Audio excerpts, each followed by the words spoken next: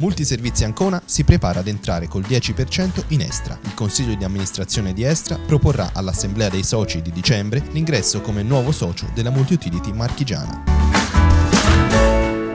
Al via la nuova edizione di Energicamente, il progetto educativo di Estre e Legambiente all'insegna dello Smart Living. A Energicamente hanno già aderito 350 scuole e 12.000 studenti in tutta Italia. Il presidente di Estra, Francesco Macri, presiede la giuria della seconda edizione del premio giornalistico Estra per lo Sport. Vicepresidente Luigi Ferraiolo, presidente dell'Unione Stampa Sportiva Italiana.